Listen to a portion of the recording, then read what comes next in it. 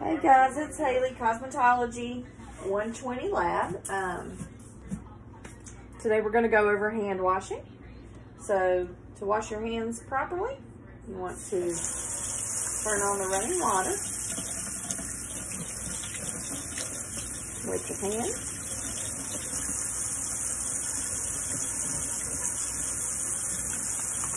Liquid soap.